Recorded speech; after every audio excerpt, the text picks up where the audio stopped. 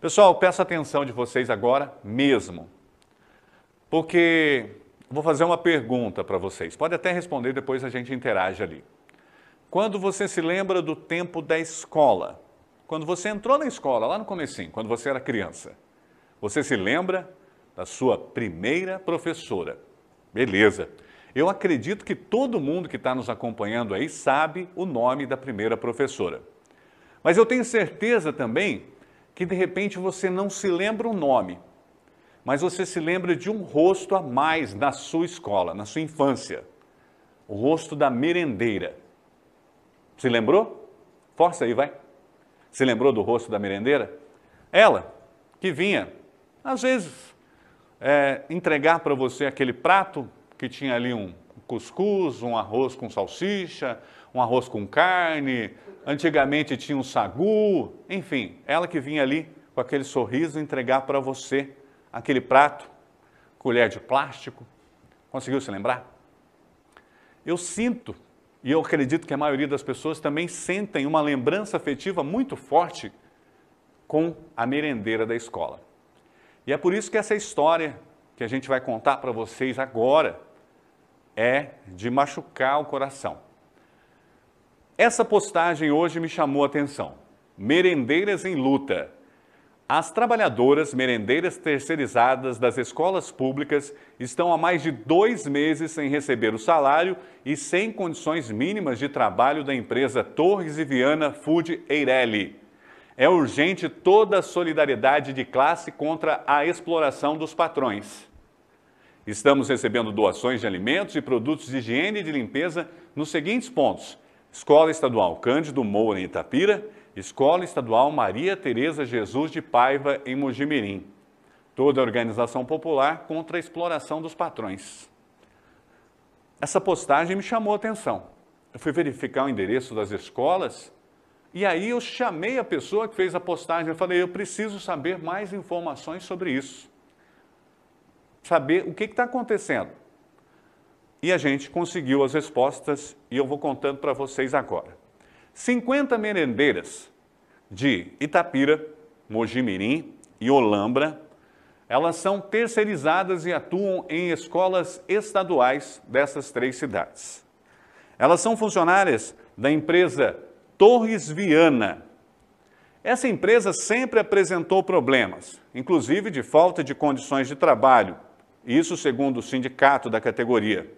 E mesmo assim, depois de dois anos de serviço prestado ao governo do Estado, o contrato da empresa foi renovado. Vejam só a situação atual dessas 50 merendeiras. Elas estão com dois meses de salários atrasados, não receberam o 13º proporcional ao tempo trabalhado no ano passado, não houve o depósito do Fundo de Garantia do Tempo de Serviço para essas merendeiras e já há quase um ano essa empresa, a Torres Viana, não entrega para elas a cesta básica que está no contrato de trabalho. Essa é a situação dessas 50 merendeiras e por isso esse apelo feito por amigos. E essas merendeiras, elas estavam na expectativa de, quem sabe, agora, em março, receberem pelo menos um salário. E elas receberam essa mensagem do representante da empresa, o senhor Anderson Torres Viana. Vamos ouvir comigo. Nós, da empresa Torres, não vamos conseguir pagar o salário de vocês hoje. Isso aconteceu porque eu estava convicto, junto ao banco, que ia realizar o nosso pagamento este mês. O próprio banco acabou que não cumprindo com o assunto que tinha me prometido. Mas tudo bem. Então eu venho através dessa mensagem pedir a vocês um pouquinho de paciência. Eu sei que é difícil Palavras não pagam contas, mas o meu dever e a minha obrigação é dividir com vocês esse momento tão difícil. Para aquelas pessoas que realmente com muito esforço, dificuldade que eu sei que estão todos passando, é, segurar por mais alguns dias, não abandonando seus postos, não deixando de servir a merenda para as nossas crianças. É, a empresa não vai esquecer desse apoio de vocês e nós vamos lembrar e de alguma forma retribuir esse esforço de vocês. Eu agradeço. Pode eu cortar. conto com todas. Vocês prestaram atenção nesse final aí? O senhor Anderson, da Torres Viana, ele informa lá que não vai ser feito o pagamento, não conseguiu a movimentação bancária para fazer o pagamento, mas esse finalzinho aí ele é emblemático. Ele diz que aquelas que confiarem, que colaborarem em continuar trabalhando sem receber, serão premiadas, serão, receberão uma retribuição no final. E aquelas que não continuarem trabalhando? E aquelas que não forem trabalhar porque não têm condições de pagar o vale transporte, não têm condições de pegar o ônibus para ir para a escola? E aquelas que vão precisar pegar uma faxina para botar comida em casa? Como é que vai ficar a situação dessas? Elas vão ser penalizadas porque se alguém vai receber uma retribuição, quem não seguir a linha dessa empresa vai ser penalizada. E, gente, eu conversei bastante hoje com a representante do sindicato, daqui a pouquinho eu trago o nome dela, da representante do sindicato, e a posição dela. A gente até tentou ouvir algumas merendeiras, mas elas não querem dar entrevista porque temem sofrer retaliações. Mas a gente separou dois áudios de uma conversa. Tem uma, uma merendeira de Itapira e uma merendeira de Mojimirim. A gente não vai colocar os nomes delas e a gente alterou a voz delas para que elas não sejam reconhecidas. Prestem atenção no que as duas falam sobre a situação de momento delas. Quem que não chora, né, bem? Quem que não chora diante dessa situação, né? Ou você trabalhar e ser taxada como palhaça, eu já chorei também. Mas eu, eu tô, tô muito mal.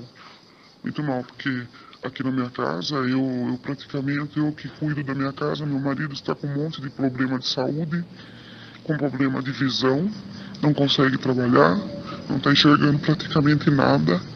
Então, é tá difícil mesmo. Não tem como não chorar, né, minha querida? Mas a gente tem que se unir pra gente ver o que a gente faz. Eu tô esperando um pouco, porque eu tô com muita dor de cabeça. Além de toda a preocupação com essa pandemia, sou do grupo de risco, vou para a escola morrendo de medo, mas a gente tem que enfrentar. Para depois é, ele mandar esse áudio para nós? Não, não tá certo, não. Eu tô esperando, eu vou para a escola agora, é, conversar com a minha parceira, que ela trabalha de manhã, e eu trabalho, o meu é integral, ela é meio período para a gente ver o que a gente faz. A gente vai conversar com a diretora também. E, e vamos nos unir, né? Porque não tá fácil. Esse é um dos áudios que a Moji Play teve acesso e mais uma vez relembrando, a gente alterou a voz da merendeira e também omitimos um trecho ali onde ela fala o nome da colega que ela está conversando. Vamos ouvir outro áudio agora, gente, que é de cortar o coração. Você sabe alguma coisa do pagamento? Não tenho nada mais na minha casa. Só tenho um restinho das coisas que tá na lata. Minha geladeira não tem nada. Minha conta de água e luz vai me cortar. Eu não sei o que eu vou fazer. Porque eu sou sozinha, não tenho marido. E eu não sei o que eu vou fazer porque eu dependo desse dinheiro, dependo desse salário e agora eles não vão pagar e eu tô sem nada em casa praticamente. Só tenho um restinho de mantimento nas latas, só geladeira, só água. Se souber de alguma coisa, me avisa. Vocês viram aí? Ouviram aí? O desespero vocês acham que alguém merece passar por isso? dois meses sem receber salário. E eu conversei com a representante do sindicato, a Rosana Amorim Caiube Simonelli. Ela é do Sintercamp, Sindicato dos Trabalhadores de Refeições Coletivas de Campinas e região. O sindicato chegou a fazer uma notificação de greve, mas as merendeiras que atuam nas escolas de Mojimirim, são 20 em Mojimirim, elas, a maioria está com receio de entrar em greve e ser demitida posteriormente. A gente sabe como está difícil o trabalho hoje em dia. Amanhã cedo tem uma reunião com as merendeiras que atuam em Itapira, para saber se elas topam aí a greve, como uma última alternativa, porque dois meses sem receber salário, ah, mas o dono da empresa, o representante da empresa, disse, ah, a situação está complicada. Mas ele teve um ano para se planejar. As aulas voltaram agora, recentemente, no Estado, e o secretário de Educação do Estado de São Paulo, ele disse que é para ir 30% dos alunos na escola, principalmente aqueles que precisam de alimentação. Mas como? Aluno vai para a escola se a, merenda, se a merenda, a merendeira está com fome, se a merendeira está sem comida em casa. Está vendo ali o armário vazio, chorando uma para outra. Lamentável. O sindicato procurou a diretoria de ensino da região de Mojimirim para saber o que pode ser feito de mais, de mais urgente aí para ajudar essas merendeiras. A diretoria de ensino da região de Mojimirim, a gente também procurou a diretoria de ensino, ainda não chegou uma resposta oficial. Chegou? Ainda não chegou, mas ah, o sindicato adiantou que a diretoria de ensino notificou a empresa a empresa uh, Torres Viana Alimentação para que ela resolva o problema em cinco dias. Em caso contrário, outras medidas serão tomadas. Vocês vejam que situação complicada? O sindicato sugere a greve para as merendeiras. Boa parte não quer entrar em greve porque tem medo de sofrer retaliação. A diretoria de ensino notifica a empresa para resolver, para pagar o salário das merendeiras em cinco dias mas tem cinco dias, ganhou mais cinco dias de prazo aí, sabendo que, que ia precisar. No ano passado, o governo subsidiou o salário dessas merendeiras num período mais, mais, mais grave da pandemia. Agora as aulas voltaram no governo do estado, voltaram menos merendeiras do que havia e a empresa não se preparou para pagar os salários delas nesses dois meses que já se passaram. Situação complicadíssima.